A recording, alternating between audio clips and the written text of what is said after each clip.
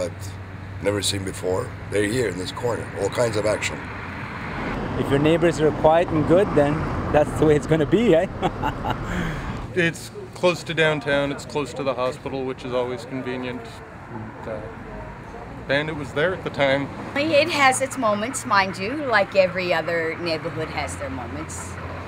But it's the people are pretty friendly. Yeah, hey boo.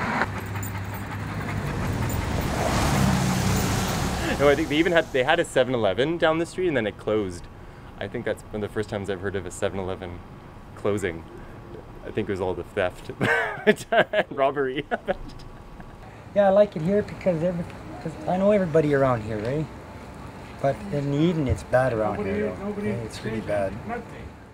I dumpster dive. I don't have to go very far to find furniture. It's all in my back lane. And it's on a constant rotation too. I put out stuff, somebody else puts out stuff, and we just trade.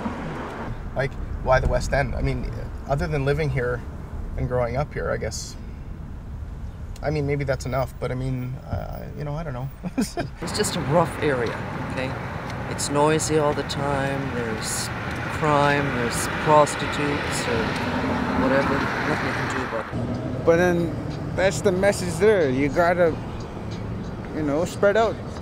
Meet the diversity in your life, the everyday life things. So, I don't know. I don't want to get all philosophical on this. but here I am,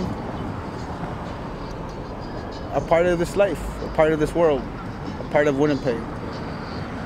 Yeah, on this block alone, we have uh, Portuguese, Italian, Korean, uh, African. This is all just on this corner.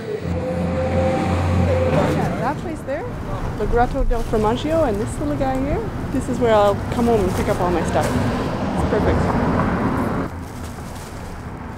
I got some fresh buns and some gorgeous cheeses. That's what I'm excited about. It's called La Grotta del Formaggio. La Grotta means a cheesecake. So all specialty cheeses, Italian, Greek. Fresh mozzarella. This one here. They see you eat it like like that, just like that. A little bit of olive oil and a little bit of oregano on top. top, top. It's nice. People that care what goes on. Like we need more festivals. Hey, open your door. Let's have a festival. It used to be here before, but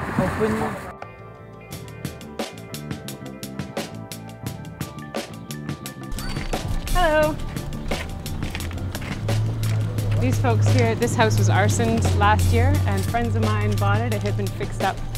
Um, and there, apparently there used to be 20 boarded up homes on this street. Um, so I've heard. And now I think there may be only one. So the housing has really changed. Lots of intercultural families. Hi, Ryle. this is a this is a hop house we've done too. The guy in the corner. Look look at the fencing he's done. He's done just a great job.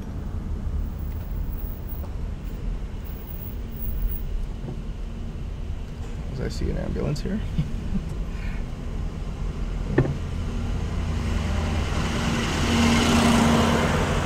Oh, they're renovating that house. So, um, I don't know if you can see it, uh, but the, this is the eagle's face from the side view. So this is the beak and the eyes, and the body sort of flows into there. I still need to put the top wing on, but uh, that was the idea when I made this, is that I wanted to have some native art um, represented in this thing. So that's what I did. This is where I live.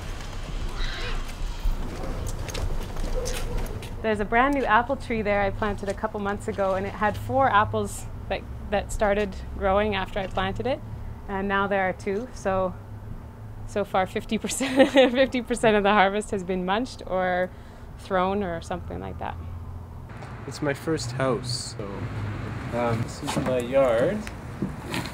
And I grew up in a town of uh, 1,500 people, and um, the uh, and I didn't I didn't have that experience for the the, diversity. So when I moved to Winnipeg, I, I picked that up right away.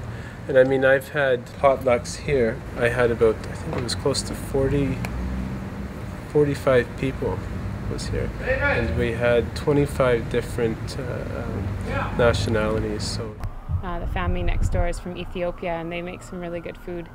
Sometimes I've brought over a couple of little small things from my garden and then they've loaded up my arms with with injera and all the different sauces and toppings and things, and I come home pretty amazed at how pathetic Canadian generosity is. The mother, I found her when she was about five months old and she couldn't stand up. I brought her to the vet and uh, they said there was no hope for it, so I brought her home and force fed her. Ten days later, she was running around. and she had two litters already. Hey, but I love my cat. But then I always seem to come back to Winnipeg, you know, for some reason. I guess this is home. I guess no matter where I go, I always come back here. So my roots are here in a sense. Most days I'm very happy to be here. This is my neighborhood, and I like it.